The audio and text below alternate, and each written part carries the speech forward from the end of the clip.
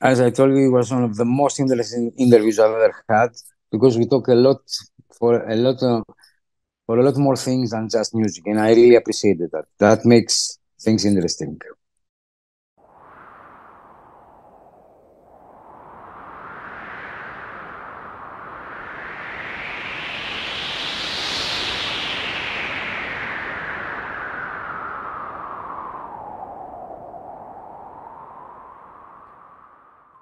Hello and welcome, ladies and gentlemen, to a new episode of Iblis Manifestations podcast.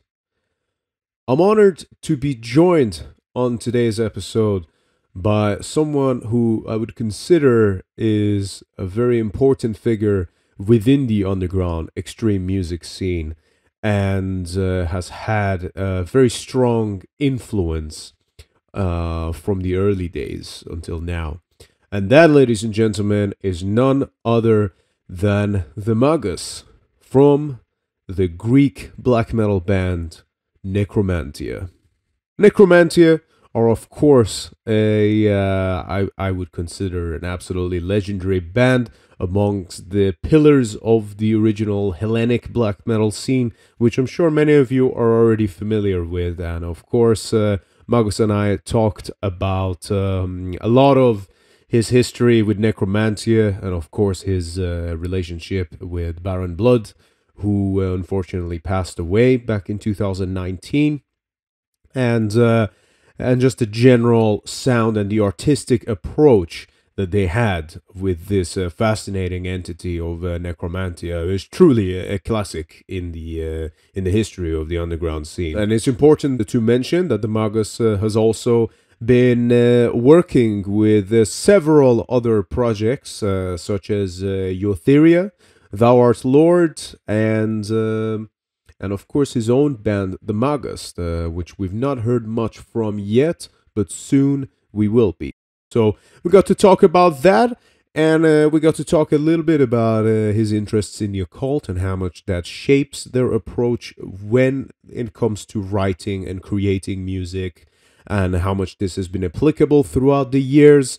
And we even got onto some discussions of the current times and the state of humanity as a whole and where uh, mankind is headed in general. And uh, his views were not so optimistic of the future of humanity, but uh, it was a very interesting and rewarding conversation nonetheless. And I'm sure that you guys will enjoy it. So Coming up shortly will be my conversation with the Magus. Uh, but before we go into that, if you are, of course, new to the Iblis Manifestations podcast, then please feel free to go and check out some of our uh, older back catalog uh, with various other uh, musicians, artists, uh, and legends. And uh, and yeah, feel free to subscribe. And if you do enjoy this content, please share it around. it is very much appreciated. And uh, and with that in mind, ladies and gentlemen, we're gonna cut straight to the chase. Ladies and gentlemen, without further ado, please welcome the Magus to Iblis Manifestations.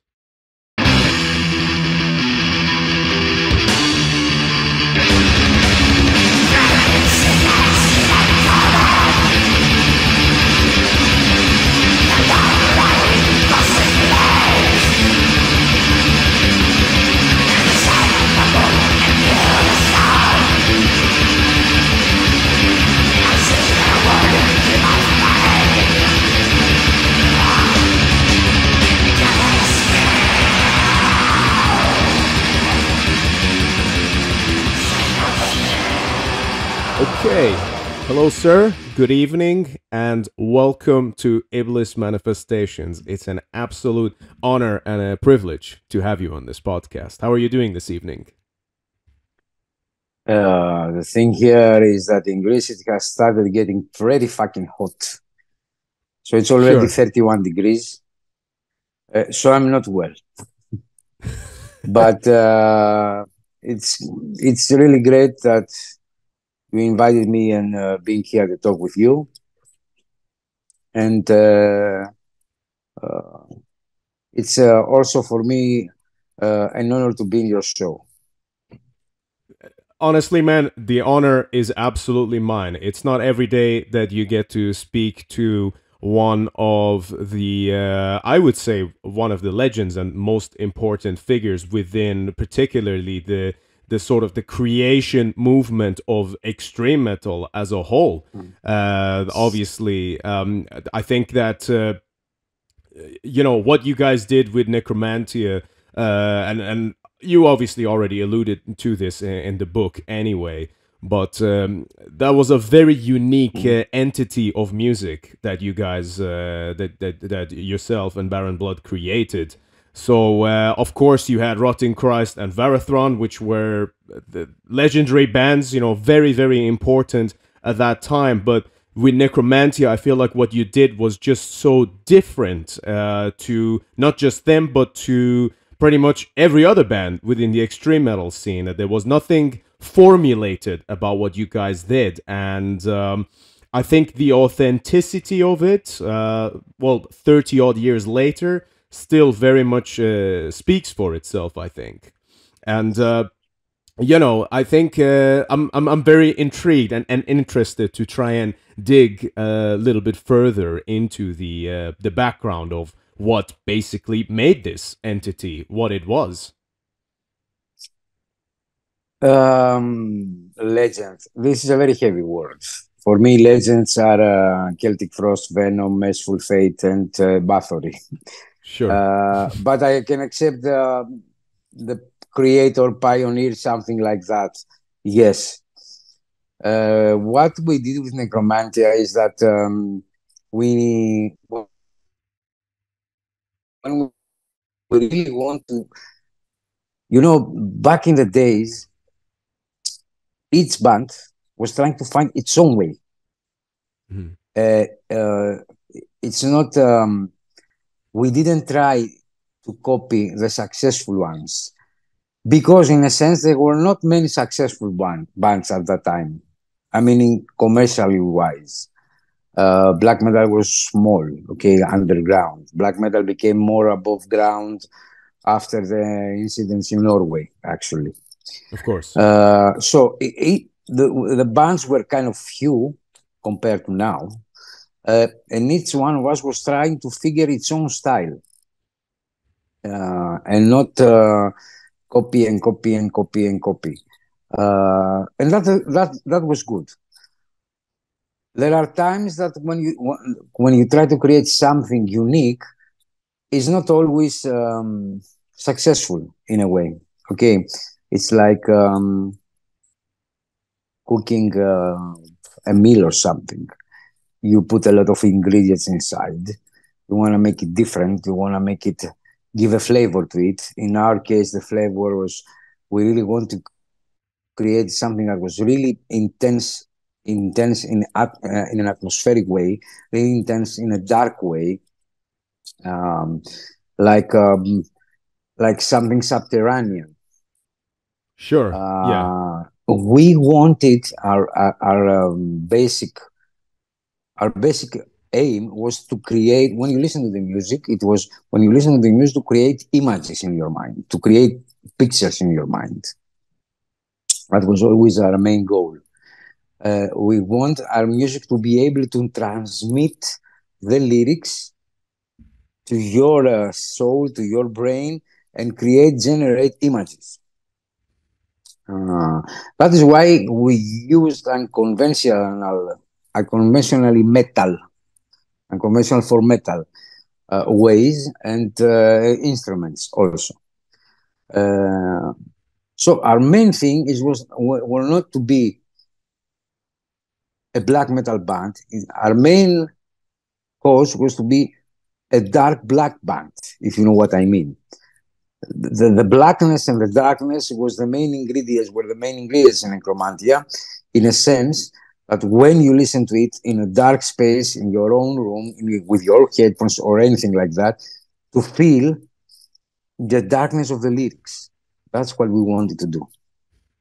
And I think that you absolutely achieved that, particularly. Uh, I mean, you've always been very good at uh, creating interludes in songs, especially. And if you look at mm-hmm. uh, some songs like uh, The Warlock, for example. That I can only imagine how terrifying it must have been uh, being someone listening to something like that in 1993. With, Which songs? With song? Uh, the Warlock. Ah, okay, yeah, Yeah. yeah. And, and I can only imagine what that must have felt like, you know, because again, this is uh, for everyone listening, this is at an era where there is no internet, where there is a lot of things left to the imagination, you know, and it's in the same kind of era where uh, where people used to send uh, dead birds to Quorthon from Bathory. Or, for example, uh, people used to have rumors that King Diamond used to sleep in a coffin.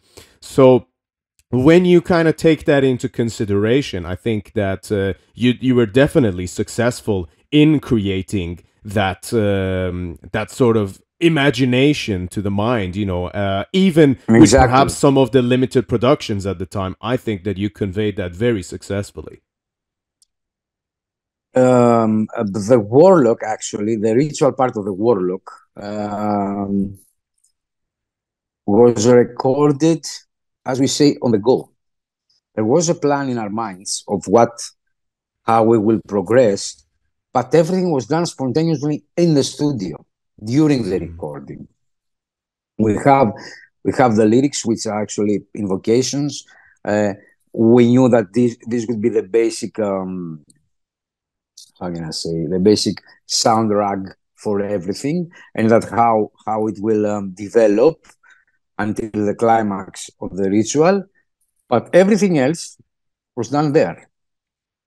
Um, and that's what made it really interesting.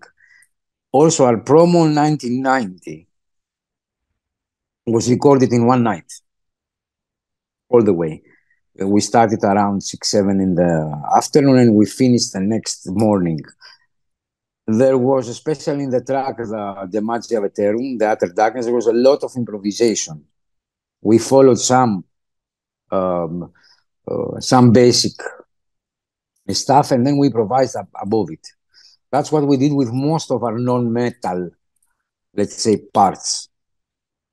And um the thing is that it may be spontaneously made and made on the go, but the whole uh, uh, atmosphere, uh, the whole feeling that should be transmitted through this was in our minds already. It's the way I do my new band now, the Magus. Everything is here before it goes out there. Uh, so yes, we didn't plan exactly what it will be done, but the basic idea, the basic concept, which is the most important thing, because you wanna be able, I want to be able myself to feel Of the same that the listener would feel. If I didn't feel it, then for me it was shit. Uh, so if I feel it, if we felt it, then it was successful for us at least. I understand. I guess that's the that sort of should be the main purpose of art anyway is simply that you're channeling the the energies and the emotions uh, which uh, which are already surrounding you but then I guess is finding tools within music to express that. And one thing I sort of touched upon this uh, just earlier but with Necromantia, one thing that was always so fascinating by it, uh, and this is not just album to album, but this can be the case from one song to another song, and it's that your work was never formulated. And what do I mean by formulated? Is uh, like, especially when you listen to a lot of newer metal, um, it's uh, it's always trying to copy a formula. Oh, this sound works, so let's just stick to this and uh, and do the same thing because we know that it works, rather than trying to take risks, rather than trying to explore new new areas that perhaps um, aid in that tool of expression, um, uh, as we would call it. And I think that. That's particularly one of the things that makes it fascinating but also on one hand where that becomes rewarding as well is that it leaves more room to the imagination. You know, you are not just listening to riffs. Uh, yes, you've got some, obviously, the double bass parts pretty much all the way through uh, most of the songs, but then you have to think, you know, and then you have to live through the lyrics. And there's this um, very interesting feeling. I mean, you mentioned as well the um, you mentioned about the 1990 promo. I think that already uh, i mean that's that's very creepy even if you want to listen to it uh, nowadays there's a very creepy sound like like like you were saying that you were just performing what you were feeling like to me it's fascinating mm-hmm. because what are you feeling that that's what you come up with you know it's a it's a very interesting dynamic there um that that's the direction that that you would want to go to naturally You see, first of all, very rarely we use the, the formula riff, chorus, another riff, chorus. We, we rarely use that. Um, because when we uh, have a song, when we write a song, we tell a story. And the story is not actually that much repeating itself. It goes on and on and on and on and on until the end. Um, that's why the structure of our song is not this typical structure. Even our metal songs are not that typical structure. And um, also, the lyrics are, mm, uh, for me, are the most important part of the music. Why do I say that? Because they determine how the song will sound, what atmosphere, what feeling, what emotion will be transmitted to the listener. They are the, the deciding factor of how the song will sound concerning atmospheres and emotions. And uh, you have, uh, most of the times, you have to read the lyrics when you listen to our music. People tend, tend these days do not do it. Maybe in the early days we did it a little bit more. Uh, but uh, that's for me what makes black metal special in general. It's the lyrics. Mm. It's it's it's uh, the atmosphere transmitted and made the, make the lyrics turn the lyrics into music. That is what black metal is for. So if you don't have the lyrics, if you don't read the lyrics, then you miss half of the song. You just listen. Ah, okay, that's a cool. Um, that's a cool uh, part of the song. Oh, that's nice. That's impressive. But yeah, but what? Why it does it sound like mm. that? Read yeah. the lyrics, uh, and this this is how how we always did in Necromantia, and maybe also in the other bands that I participated uh, with. Other bands were kind of different, but in Necromantia it was the it was the uh, the alpha, the A of the music. We started with the lyrics so these are the lyrics. We're saying these are the lyrics. Okay, mm, what do we get from that? This. Okay, how do we make this into music? How do we get this this uh, morbid feeling, this awful feeling, this depressive feeling, this this scary feeling? How can we put notes to it? That's how I, we work. That's how I still work. Mm, what I do. I can very much appreciate that, uh, and and I I agree. I think that's actually um, in black metal particularly it's extremely and, and that is, sorry sorry to interrupt you and that is why i think lyric videos are very important hmm.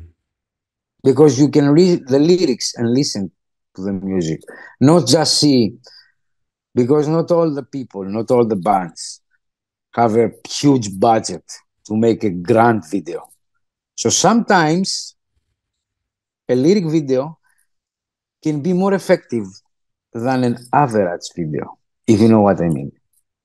I do because, like you said, it's saying the story of each particular part. I mean, I think, uh, you know, not every band is capable of pulling this off because the reality is not every band actually has something to say. They just want to create music for the sake of it. But when you do have a story to tell, when you do have something to say about it, and each part of the song is uh, you know there's a meaning there's a reason behind every riff as you put it i think that's when it becomes a magical thing and, and it becomes interesting but just onto the topic of lyrics as well um, I do have to ask you. Uh, I mean, this is perhaps this is kind of an obvious uh, thing, but how important would you say was the occult aspect when it came to the the themes of your music, and how important was that to yourself personally? Highly important. From the beginning, from the moment we started Necromantia, when we decided with Baron Blood to form a band going this way, we both had already a deep interest in the occult and the darker side of things. Baron Blood was more on the research level. I was more in the practical level. Uh, but we tend to, to walk the same path. I mean, my uh, my dealing with the occult and the dark side in general has defined my life, not my just my music. Okay, uh, and I don't say this just to be true. Okay, there are great bands that, for example, Venom was such a great band, such an inspirational band, and they were never that much serious into what they were uh, singing in a practical level. They That's may true. be in the philosophical. They may be like a like a, a, writer who writes a horror movie. Okay, like a writer who writes a horror movie with satanic with a satanic cult or something like that. But still, it doesn't make for make them for me less black metal because the the object they were dealing with, they dealt it with decency and really good. Um, so I'm not in the I'm not the guy that says if you're not uh, into the occult for real, you're not black metal. No. If your music and your art is made with honesty and decency, and um, uh, if your research also is good, because let's remember that Venom gave us At War with Satan, which is a 20 minute epic song with Absolutely. epic lyrics also. Uh, you're still on the right track. Some of us, some of the people who are into black metal, some musicians, tend to go for their own personal reasons, more into the practical, let's say, beyond the philosophical, the more practical level of occultism. And um, I don't uh, talk about details that much in my interviews and in my presentations because I'm not a preacher of anything in a way. Mm. I'm not a messiah. Okay. When I was uh, younger and uh, necromantia was in the very early stage, there were people coming to me, come teach us this um, uh, mystic ritual or this kind of thing. Guys, no. You find your own way. I do what I do, I do it for me. What you want to do, it's up to you.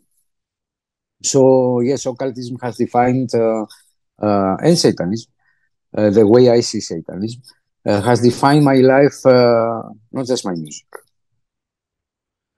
In what way would you say it's defined as so? In a, if if you were to put it into the perspective of, um, is this hopeful? Is this a pessimistic view, or is this an empowering thing? Because I do. Recall... It's all of this.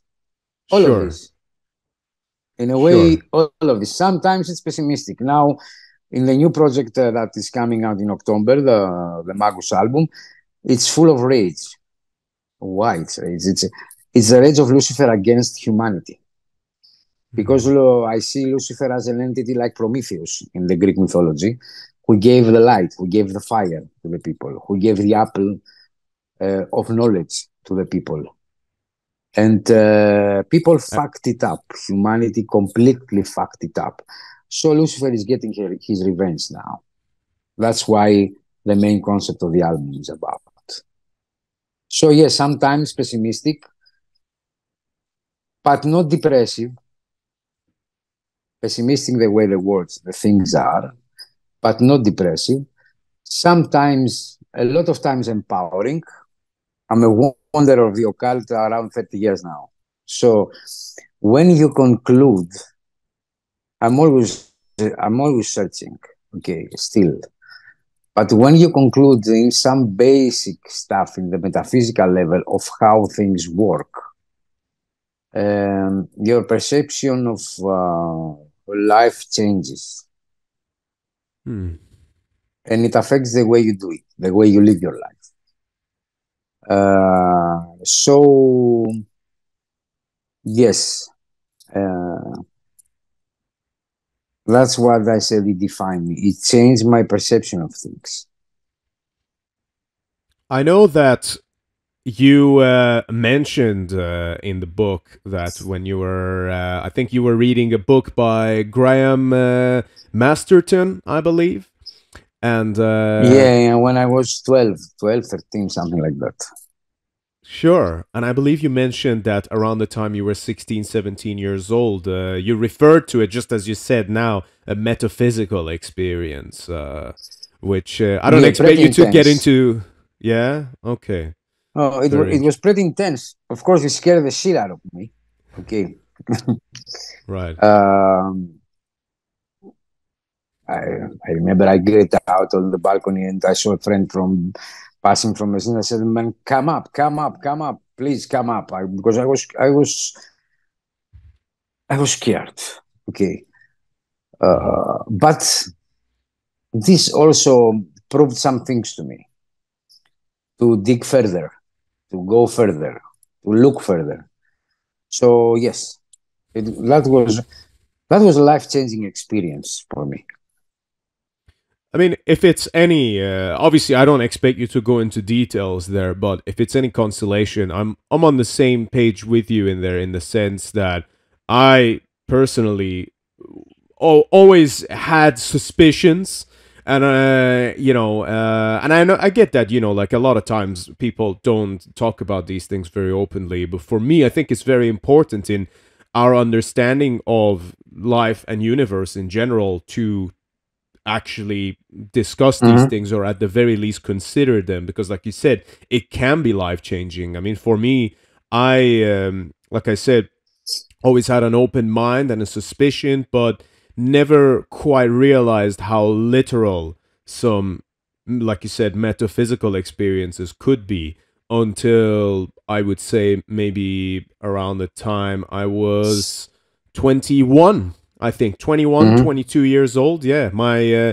myself and my girlfriend at the time uh, moved into a flat in birmingham and uh, after one week we had to escape from there in the middle of the night because of the things that we saw that until that point i never thought was even possible but then after Yeah, that you, you think that sometimes uh, you see them in the movies, yeah and when it yeah. happens to you, it's like, fuck.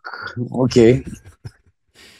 Exactly exactly. And and you know but like you said when you realize the depth of which uh, these things can go um uh, whether you want to call it paranormal whether you want to call it you know because to me what's frustrating is that there always seems to be a battle of you're either scientific or you're spiritual. There seems to be no merging of the two whereas in my world they are they're the same thing because at the end of it the day that's just something to aid in our understanding of the world which we have very little understanding of and uh, it would be foolish Yes, for us true. to think otherwise True, and uh, I think those things, but those things for me also go together. I'm really, um, I'm pro, a really pro science guy, uh, but I always keep um, a spiritual and uh, metaphysical, um, how can I say it, um, ethics code when I check science in a way. Uh, meaning that, of course, uh, what is proven by science is proven by science. But the spiritual and the metaphysical level is something sometimes even beyond science. The, the, the, the physics rules, it's okay. It's just the physics, the, the rules of physics. Uh, gravity is gravity. It's nothing uh, weird for the metaphysical, if you know what I mean. It's an accepted reality. one accepted reality. Absolutely. And you got to think that a lot of the ways in which we look and observe science is mostly just third dimensional. But then there are many more layers to our reality and our uh, existence uh, as we know it. And it's not all just the physical realm, you know. And you can talk about, for example, uh, people's experiences on something like psychedelics or uh, or DMT, perhaps, or you can just talk about uh, the other things like per- perhaps astral projection and uh, and these kind of things, uh, which sometimes, not always, they do manifest in the physical reality. And uh, Yes. it seems to me that rather than observe and study these things, we live in these camps of ignorance where their meaning is only defined by whether we believe in them or not, which I think is very limiting. Don't you think? Uh, yeah, I mean, um, all the hells and paradises of the world, of all religions, are um, are like skeptomorphs of the people who believe in them. That's how I see them. Um, things uh, for me are different. Uh, it's above that, above ab- above heaven and hell, in any kind of religion. Uh, it's more neutral in a way. Things w- doesn't work that human oriented. People tend to think that everything is around them. No. Yes.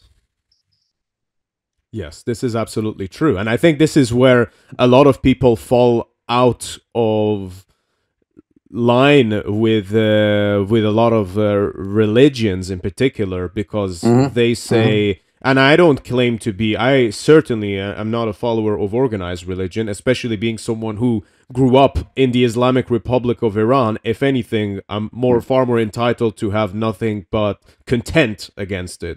However I, th- I I also am critical of people when they think that oh if there was a god would there be so much suffering in the world and I think what makes you so fucking entitled that you even think that uh, you deserve that you know and uh, that's always something that and I might I used to think that way before when I was younger but to me like you said we think that the world revolves around us somehow and that's kind of Yeah. missing the point which is I guess You know, uh, the finest. religions of the of the past, and I mean before the monotheistic, okay, spread all around the globe, were more true, more naive, but more true in a in a sense that the god, the the, the, the, entities they call gods or demons or anything, was something that was out of them. I mean, extraterrestrial, if you know what I mean, alien to them. It's not that uh, something different from them, a bit more powerful, uh, but not something that totally gave a damn about their everyday life. Okay, they were, uh, as I say, in most a lot of the religions, it was kind of naive approach, but it was closer to the truth in a way, to the truth I, that I think, that I have somehow put in a perspective. Um, for example, when I, when I was in Egypt, and I saw some things there in the pyramids and all that stuff. Uh, and they have, okay, this is the corridor that only the gods walk. Okay, maybe that's how it's connected to a lot of this, um, what we call today, in a sense, that's my opinion extraterrestrials may be the gods of the past. Some different beings, not all powerful, like omnipotent, omni something like monotheistic religions claim, beings of higher intelligence, entities of higher intelligence, but still, still another species, if you know what I mean. Not an Well- omnipowerful God. there's a lot of different theories about this, as well as also uh, certain anecdotal evidence of. And since you are uh, Iranian, there's a lot of knowledge there yes, in Iran, a lot. Because between Tigris and Euphrates, the rivers, I think it was a cradle of civilization, of the human civilization. This is correct. Uh, I think uh, you know we can talk about um, the possibility of how there were other civilizations on this earth that were more advanced than we are today, but perhaps in a different direction where their technology will have been more advanced uh, within the metaphysical realm, so that these aliens Mhm, that we mhm. talk about Mhm. there's there's perhaps something that's that's related and connected to that that is beyond our understanding of it because we live in a world where yes we have advanced crazily i mean just the last 10 years alone our progression as far as technology is concerned is wild you know and it seems to me that Yes. we're almost continuously integ- uh, uh, progressing towards integrating with AI and computers and machinery. Yeah, I and, mean, and believe me, we, we're gonna fuck it up again. We're gonna fuck it up soon. I think maybe maybe I see it, maybe I don't in this uh, form, but we're gonna fuck it up soon. The AI, what you see in the movies, what we were seeing in the movies of science fiction, that robots or machines were ruling the world. It will, I think, it will happen at some point. We will become like Matrix in a way. We will be sleeping, living in a dream state. Uh, and everyone will, be will be run by and I mean it, it will come sooner than I expected. well, I, I, I, am I'm not a conspiracy. I'm not a conspiracy theorist. Okay, but if we go this fast, oh man, you know, I, I, I couldn't agree with you more, and uh, and obviously I do so hesitantly, but deep down I know that, of course, this is this is where we're headed. Because to me, it seems like we're just on the edge of the cliff. I mean, everything that's just come out with ChatGPT and things like that. I know that yeah, these are yeah, all yeah. These are all very modern things and we might like the average black metal fan might look at that and think like oh well that doesn't affect me. But however the truth is that very slowly we have been moving towards this direction to the point now that our data like each person's data is available everywhere online. Now all mm-hmm. you need is one god consciousness of a computer or an ai to observe that information and then when given any form of power then basically you're just ruled by that thing but the interesting part is that we have all been well most of us 99.99999% of humanity has willingly been participating in this um, in this sort of um, dystopian Yes. progression of our world Mhm, uh, mhm. without True, realizing true. it perhaps To tell you the truth, I'm. I think that mankind. I'm not. Um, I wouldn't say I'm exactly a misanthrope, because hate is very strong emotion and it's not to be wasted and felt easily. But I think that mankind is a very dysfunctional and uh, completely um, um, failed species. Mm. There are times that I think, okay, let's fuck this 80% of the people and the rest 20% try to rebuild things from the start. But okay, I may be in the 80% that will go away. Me and my family, for example. It's okay, it's a risk I can accept. But the problem is that I don't think that the 20% will not fuck, fuck it again up in, a, in some hundred years. Because I think in the, the problem is internal, is in the DNA. Our problem is in the DNA. Uh, so we are condemned to fuck things up in circles. yeah That's my I- you know pessimistic view. I, I well, I relate to that, man. You know, but my personal thing is, I see that exactly what you just described there. I see that, but I try and be hopeful that you know I try to think uh, as the twenty percent, even like you said, if might not be a part of that. To me, you, you know because because you know you, you, it's it's easy to be pessimistic you, you can be a realist if you want to How be a old are you? realist How old are you? Uh I, I hate to say it that I, I am uh, I'm 28 years old Okay. Okay. I was like you and even more optimistic in my 28. Now I'm 53. I'm not optimistic anymore. sure I mean well you know but but that's what i'm saying is you can be a realist which is absolutely yeah it looks like we're gonna really fuck things up and you know and everything from the from the the progression of technology to the military industrial complex to big pharma to big tech it seems like everything is going in the wrong direction almost. On the other hand um if you are not optimistic then we don't do anything about it you know? And i think that that is Yes. important to maintain and I keep agree, in and, mind and, and I think also that uh, newest generation should be optimistic. It's something that you must have if you want to survive. Otherwise, as you said, you give up hope, and that's it, and you kill yourself. If you know what, if you say what I mean, if, if you don't have hope and have an expectancy of something different or something better, especially when you're young, then you are fucked up.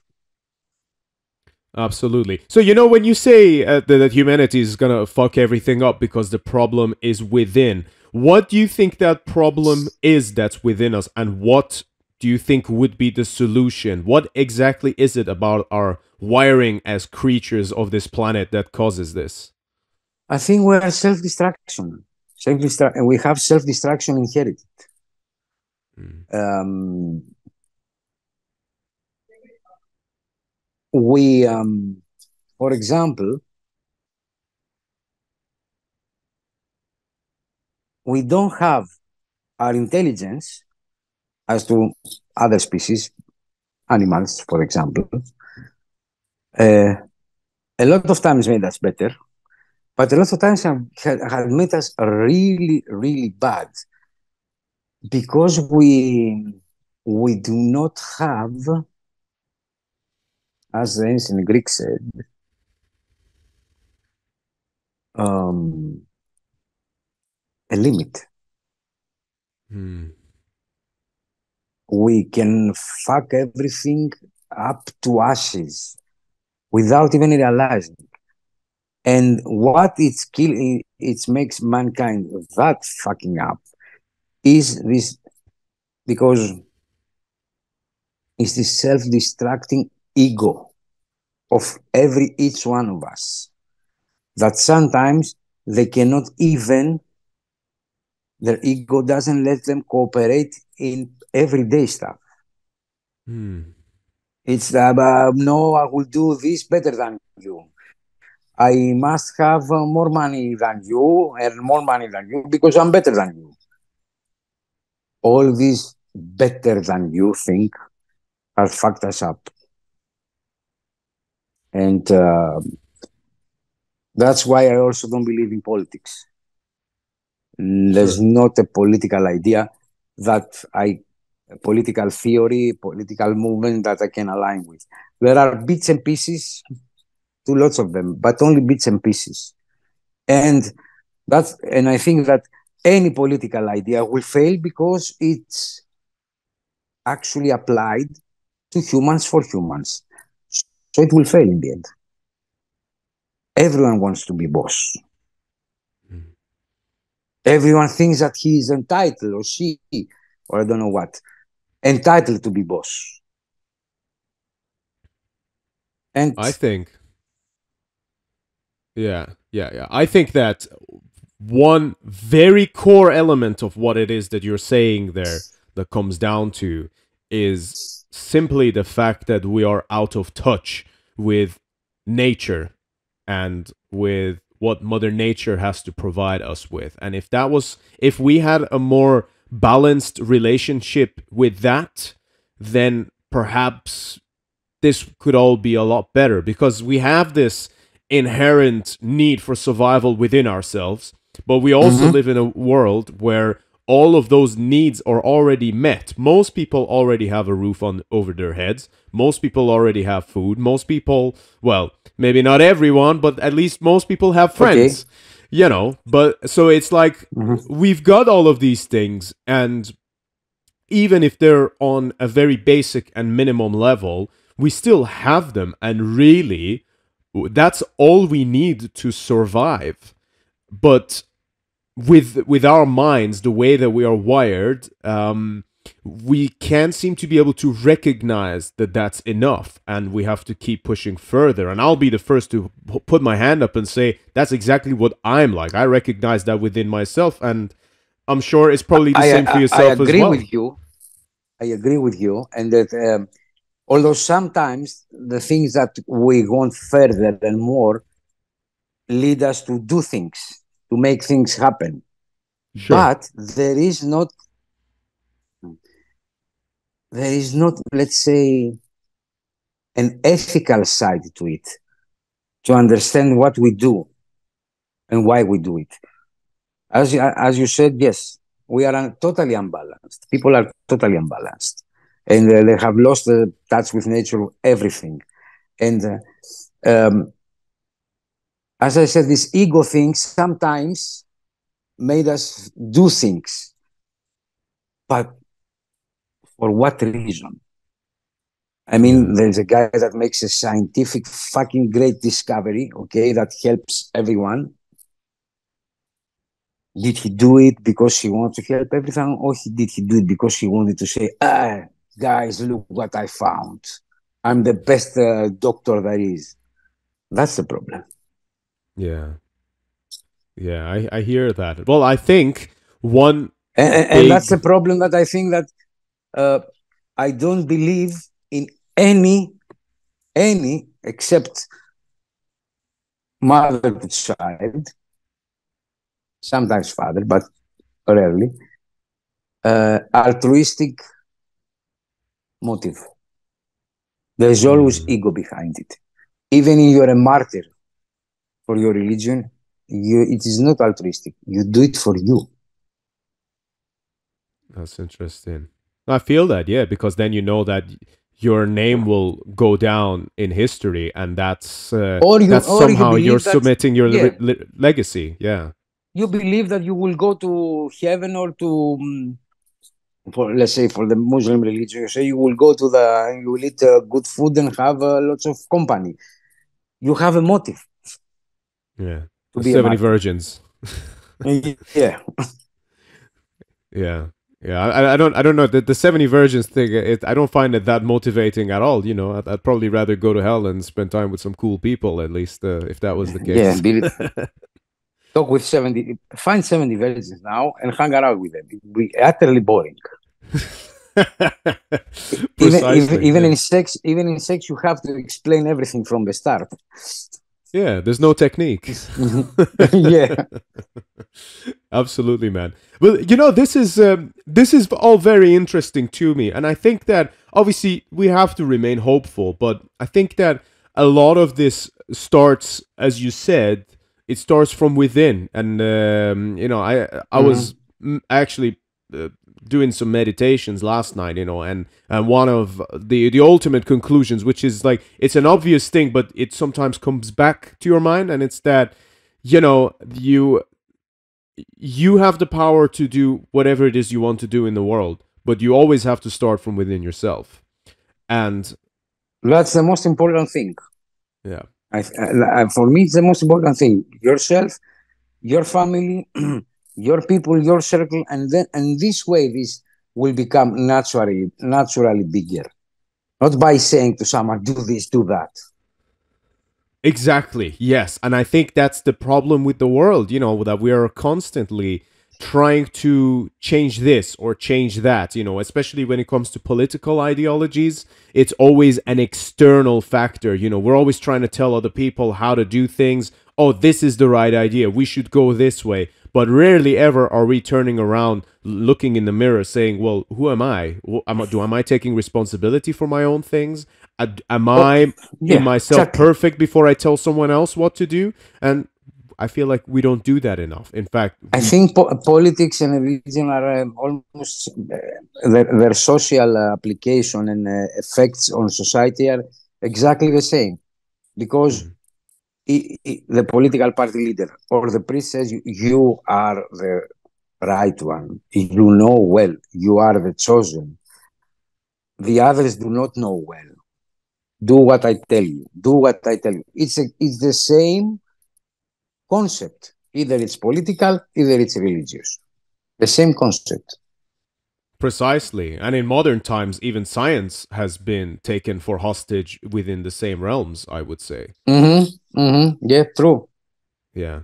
How do you think, um, just in, in general, um, obviously having done what you have done for all these years and having done what you've done with Necromantia, um, but also, um, I understand that you've still, you know, had to take on the normal day-to-day responsibilities and obligations. You know, uh, especially from the perspective that obviously the band never toured or played live at all. Actually, mm-hmm. so what's your kind of perspective? Because it's almost like you've coexisted with the world, but you've also had this outside perspective of trying to dig deep into stuff. And to me, when you're trying to dig deep into whether it's the occult or whether it's your music, at the end of the day, I feel that as an artist, you're simply just digging down within yourself. And that's the most important thing. So, how would you say that that is something that's shaped your perspective of things? Or what is it that you've really been able to learn and take away from that um, unique position within the world? Um, first of all, we don't do like I don't like live shows in general. I don't like okay. I don't like live shows. I don't like black metal live shows. For me, black metal, especially the most atmospheric one, it's something that you have to experience yourself. You we sit at your home at the place you choose, you listen to the music, you read the lyrics, you understand. It's not rock and roll. I can enjoy for example, I can really enjoy a Metallica show, but I mm-hmm. cannot enjoy that much a black metal show because I don't think that this kind of music is to be treated as a rock style with the same energy and the same stuff. I can go to an agnostic front show, drink some beer and enjoy and beat uh, people around, people beat me, you know what I mean, and go in the pit and enjoy it but not for me. Black metal is not like that. We were um, we were thinking in the early days of Necromantia to do live shows, but we wanted to be that grand because lyrics, music, picture. We wanted the live shows to reflect also that atmosphere and stuff like that. But we needed lots of money to do it. Sure. So we decided no. Uh, in the process, we didn't care about it that much. I did some shows with the Rotting Christ in the early days. Yeah, yeah. Uh, and okay, it was kind of cool the energy of the people, you know, and anything like that. But still, it was not me. For me, music and what I make is much more internal, uh, uh, much more for me. I feel the need to do it for me, to express myself, to channel sometimes all my negative feelings and thoughts into music so I cannot go crazy. Uh, so it's like, uh, wait a minute. So it's like, it's not as I said, black metal for me is not a rock and roll thing. Although bands like Venom and stuff who shaped or started the genre did it this way and were uh, musically also were much more punkish in a way. But I tend to be closer to the Celtic Frost and Hellhammer thinking, or the Mercyful Fate. Um, now that I said Mercyful Fate, I saw the Mercyful Fate shows, the, the, the ones they do now, and I was like, fuck, that's what They I were- wanted to do. They were fucking great, man. I saw them last year, uh, last August, and one of the best shows I have ever seen. They were fucking But incredible. I saw. I haven't. I, I haven't been able to see them. I just saw the video, and I was like, "Fuck, this is a show that I want to go." Yes. Anyway, irrelevant. Well, I guess it was the Um, same with uh, Quorthon from Bathory as well. I mean, that guy realized that if he wanted to do the Bathory shows, he probably needed like $10 million per gig just to make it look and sound the way he wanted it to. So he just never did them. Yeah, I mean, I really respect Quorthon for that. Uh, Not only for that, he did a lot of things for what we are doing now. Sure. Uh, but I like. I, I like this his his way of thinking, and um, so yes, music because I never followed it uh, professionally. I'm always an amateur.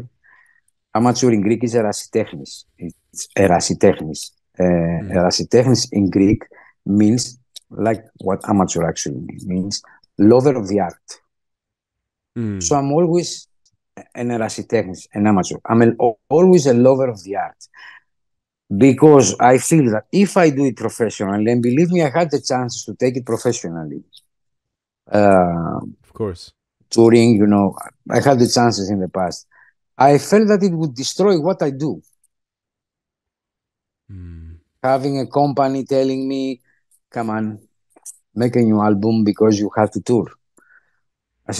And I don't feel making a new album now. I maybe do it next year or in a couple of years or in four years or never. Uh, I understand people that are doing it for living. I admire them, but this is not something I would do with my music. That's completely respectable, yes. man, because it's just you taking the artistic approach of doing what's right to you. You know, no one's asked you to do this. This is just your pure expression. So why compromise on any aspect Exactly. Because if it's not something that you use to put bread on the table, to put it bluntly, then do it exactly as you want and exactly when you want and exactly when you feel. Exactly. Yes, that's uh, that's precisely the point that uh, I was uh, alluding to uh, earlier. I think it's a very unique perspective um, of uh, what it is that, that you had going on with Necromantia. You know, uh, I mean, a very very underground thing. You did it because you wanted to do it, and you stuck to your guns all the way to the very end. Uh, and of course, uh, I do have to uh, mention the very untimely passing of Baron Blood uh, a few years ago. And uh, I mean, what sort of mindset were you in at that time? Because I think he passed away just towards the end of 2019. And then beginning of 2020, the whole world pretty much went Yeah, it was, uh, I think, November 2019, November or something. Okay, so that was pretty much what you know, right at the start of everything, and then four or five months Yeah. after that, the whole world is in lockdown, and we're in this very strange Yeah. situation. And in that lockdown, I mean, what what was going through your mind at that time? I know you've alluded to the fact that you had a burst of creativity come over you at that time, but um, how, what were your thoughts at that time? How how were you feeling in, in general? Because on one hand, basically the thing that you've dedicated uh, pretty much most of your life to with Necromantia, you now know that at some point that now has to be put, laid to rest because it was a result of your it was a byproduct of your friendship with him. But Yes, also, I mean, uh, people ask me why don't you not, why you don't continue the band since you have still music to write. I said because Necromantia is it was me and him. We were Mm. two these two people from the beginning. Yeah. So it will be unethical for me. Uh, I wouldn't feel good to continue without. Okay, if I can, I could find a lot of people even to play the eight string bass. But no, that chapter ended because half of the band didn't was not here with us anymore. So I decided to stop it. I mean, it, it was for me the only option, to tell you the truth, the only option. I still continue to do music with a new project, with a new band, but just, that's something else. Uh, about the corona, you know, because I'm a seclusive person, I'm not socializing that much. Mm.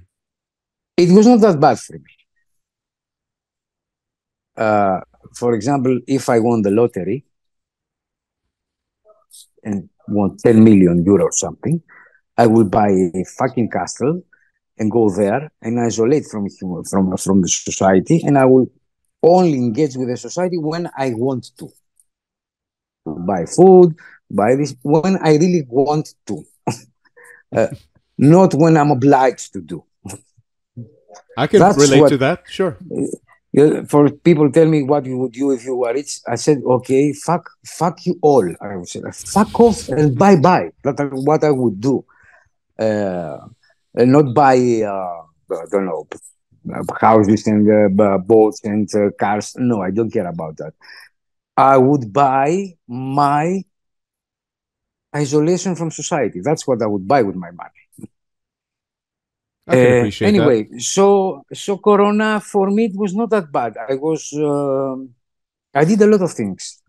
I did a Necromantia album. I did some translations of books that I work with. Um, so it was a very productive period. Not good money wise because jobs were closed, but um, psychologically wise, I felt good. When I was out in the street to go and buy something, and it was like a zombie apocalypse, no one walking in the street, I was like, wow, that, that's the sound of silence in the city. Mm. So, yes, Corona was really, was really bad. Maybe it was a sign that I was telling you about we need to. Anyway, uh, but for me, psychologically, it felt perfect. I didn't have any problem with it.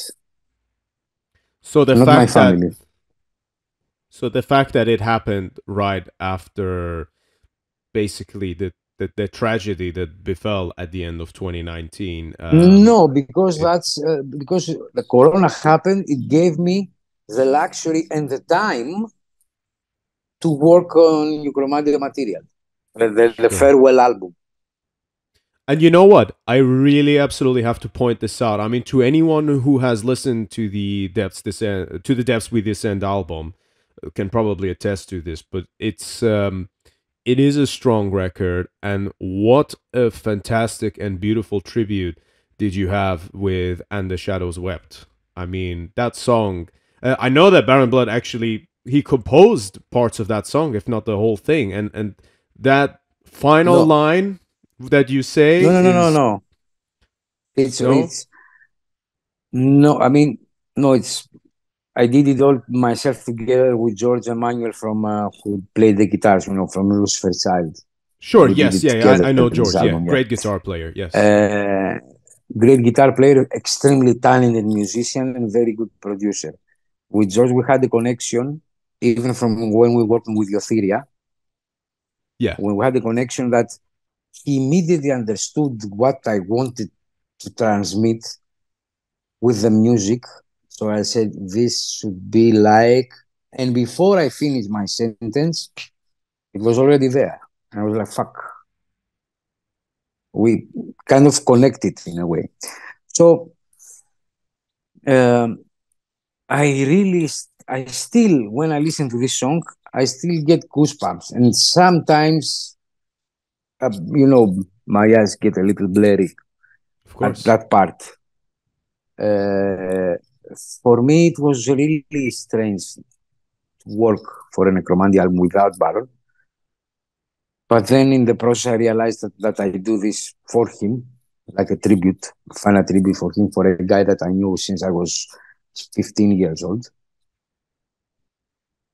Uh, but still, that song really, uh, really tightens my heart, even when I hear it now. Yeah, I mean that outro where you say the final line, and then you hear the obviously you do this beautiful bass solo that's on top of like a guitar solo. That is like I remember listening to that and then listening to it again after listening to you talk about it in an interview and being the same, just goosebumps and being like taking deep breaths, like, wow, okay, you know, you really feel something, you know, and it's it's powerful having that so earlier on in the album as well. You would normally think a song like that would be maybe like the last song or or something like that, but it's just such a powerful piece, man. And uh, I think, yeah, I mean, yeah the first song was the more uh, the the song that gets your blood going. Sure. But the second song was the the song the, the reason that why this uh, album was made was that song in a way. Sure, sure, sure. I I understand that. Yeah. Well, it's great, man. You know, I think I think you did the you have absolutely from all of the different perspectives because uh, there's a lot of ways when you have this uh, i know you didn't like the word but legendary uh, band and hmm. music entity within uh, you know when you've got something like that at hand many many many many times bands just do it wrong or they do something at some point where they ruin it and i can name a million examples of that bands that were mm-hmm. fantastic in the 90s but then somehow they found they found some way to kind of ruin that reputation a little bit later on you know and uh, obviously I don't want to name names, but I think we can probably think of quite a few examples of that. But I feel yeah. like with yourself, with Necromantia, you managed it perfectly right. And I think that, uh, I mean, what, what I thought was interesting was also uh, the album that you did with uh, Theory as well was very powerful, um, uh, which I think it came out same year, just around a couple of years ago. And that was, I think that was even the first time you ever participated in a music video, right? yeah, true. Yeah. Uh, it was Jim's idea. He was always insisting, let's do a video, let's do a video, let's do a video. I said, okay, let's do a video. Well, I think it, uh, it, it looks so cool because you've got all these guys proper metal and they're going for it, but you're there and you're not pretending. You're just you, you know. And I think for anyone mm-hmm. watching that who might not be familiar with, say, your history with Necromantia mm-hmm. or even Thou Art Lord, they might look at that and mm. think, "Oh, who is this man? He he looks so interesting. You know, why is he why is he like this? And why does he have such a good or, voice? But he, you know, I think or, it's or a, he looks or he looks weird because if you read, if uh, when we uploaded the video, I was li- I was reading the comments and I was laughing my ass out of it. uh, who, okay. is who, who is this uncle? Uh, uh, something you know, something like that. And I was like, okay, okay. Yeah uh, even in the, the, the Magus video, the first uh, visual video will come out uh, in a couple of weeks. Okay. Even okay. there, I'm there, but I'm not there. I'm sure. there, but I'm not there. You will not see me, but I'm there in the video. Sure, I uh, understand. So if you like Yoth Iria, believe me, the Magus album, it's one of the best things I've ever done in my life yet, musically. That's uh, very big words. Okay, okay, wow, I'm intrigued. Every uh, every song has a different character. Mm. With um, climax in the last song, which is uh, you remember the "Give the Devil His Due" in Necromantia, the yes. bass. Okay, in the Magus album, it's "Give the Devil His Due" the story. It's the story behind ah. it and it's a around 10 minute song. Uh, also, you know King Dude, the artist King Dude. I, I'm familiar with him, yes, of course. Okay. And it's a black metal blues. Right, right. I am fucking. It started as a blues. That's why I, I also cooperated with King Dude because I like this distinctive bluesy Nick Cave of type voice. Sure and it and it it climaxes to black metal holocaust in the end but it tells the story of the give the devil his due because there's a guy in a bar you will listen in the song because you hear a bar in the beginning yeah. drinking alone and then it's Mephistopheles comes to the bar to Kearns and tells him, okay, man, it's time to pay your debts. The man is very excited because he made a pact with Satan and pact with the devil. And he said, okay, yeah, come on, take me to hell and make me a demon and king and shit like that. Mephistopheles has another story. He, he actually tells me, you got it all wrong. We gave you things, but, but you fucked it up. So you're not going to get anything now. You just your soul will, will be just food for our dogs. That's very the, interesting. The, the essence of the song, and it's also a live choir that sings in Latin, like the um, the infernal in, uh, praise the Dark Prince because it's infernal justice and his justice is swift and his justice is. It has a whole story. This is the climax of the song. It's the last song of the album. But every song follows another path. For example, the Ama Lilith song, which has only the vocals was done only by women. They used two women singers, two metal women, one from uh, half southern north and the other from uh, uh, Webb, Hellpire from Webb. They made all the vocals. One of them, Hellpire, made the black metal vocals, and the other singer made because in the in the um, in the middle of the song there's this four minute ritual called to Lilith that is kind of Dead Can Dance means Diamanda Galás. Oof. Okay. Right and there's also the more normal songs, um, but every song has its fucking, its fucking meaning, its fucking um, concept. And believe me, the the opening, which is a very short one, it's around two minutes. It's called "This Is My Church," where Lucifer speaks. Uh, it gets you so deep into the atmosphere of the album from the beginning that when I play to people, to friends from bands here, were like, wow, what is this intro? It's like, okay, we now understand what your album is about from the intro. Mm. Anyway, you will Very... listen. Very fascinating. I cannot wait to hear this, man. And I, uh, to the point of the story you were mentioning about "To the Devil Is Due," that also reminded me of what you were saying earlier about just the figure of Prometheus giving fire to humanity, yes, but yes. then in your accord, because, humanity fucking it up. Basically. Yes, because uh, you see, the guy when you read the lyrics, is very happy that sure. he will be like Prince of Hell or something. But Mephistopheles says no. Hmm. Very interesting, man. Listen, brother, I appreciate you coming on the podcast so very much, and uh, I've really enjoyed this conversation with you. Um, something else before I go. Something else. Please, yes. I really liked your band, man. I didn't know oh. it. I checked it because they told me, okay, this guy will do the English from there. Okay. I really like that you are not blasting all the way all the time uh, and I really like you have this heavy metal feeling also, mm. which I really like.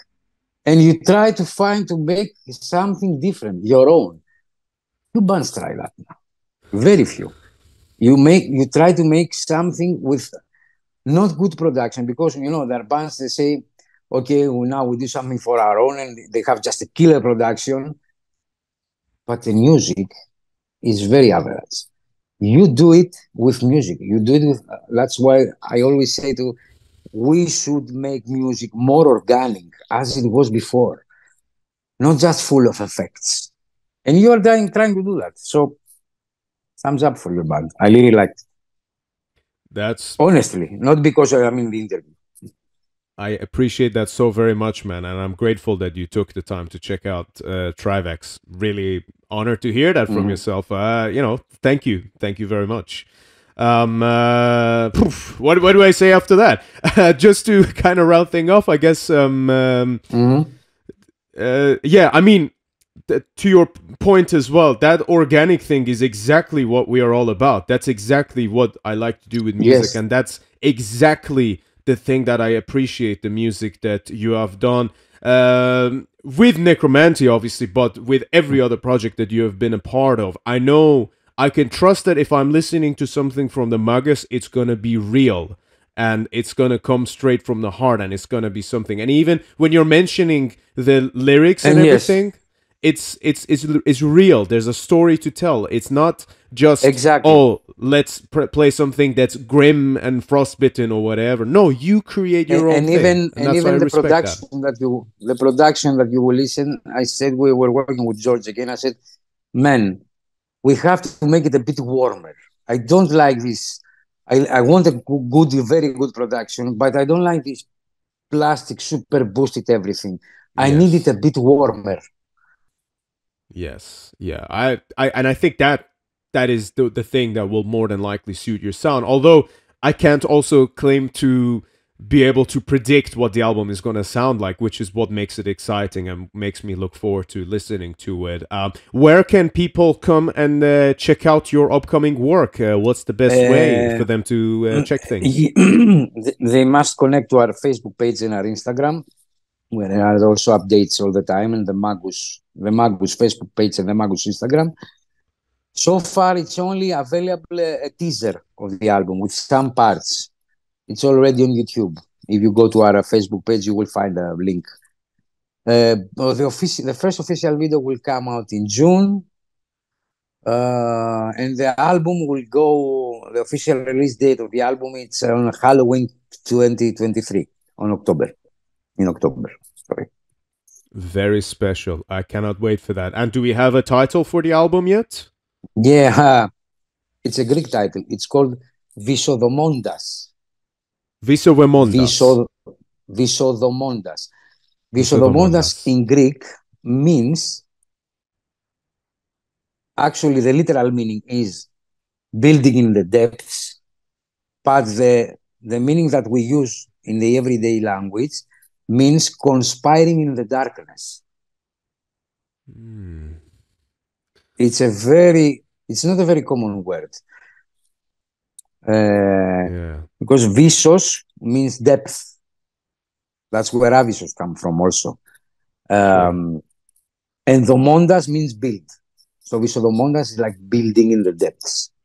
Well, with the last Necromantia album being called To the Depths We Descend, is this Exactly. That's where we start from again. Yes. Right, right. Very well done, man. I appreciate that. And uh, yeah, like I said, looking forward to it. So, yeah, obviously, all of those links of everything, all the socials and whatnot will be available Mhm. in the description so people can just uh, check it out. So, as we bring this to a conclusion, Magos, I would like to thank you one more time. Thank you so much for being on Iblis Manifestations. It's been a fucking blast. Thank you, man.